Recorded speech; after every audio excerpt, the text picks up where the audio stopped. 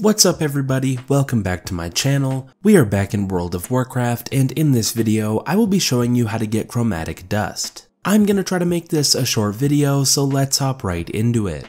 Chromatic dust will be an enchanting resource that you can get from disenchanting items from the Dragonflight expansion. You can mainly get chromatic dust from disenchanting green quality gear, but you can also sometimes get chromatic dust from disenchanting blue quality gear.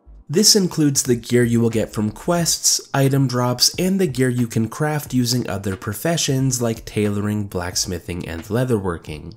And that will be pretty much it. But before this video ends, I just wanted to let you know that I plan on creating a lot of videos for World of Warcraft and World of Warcraft Classic on this channel. So if this video has helped you, please consider subscribing to this channel as I'm sure my future videos will help you as well. Also, if you're looking for a guild in World of Warcraft or World of Warcraft Classic, or any other MMO that I cover on this channel, please check out the Discord link in the pinned comment below this video to join my guilds. But anyways, I hope this video has helped you and thank you for watching.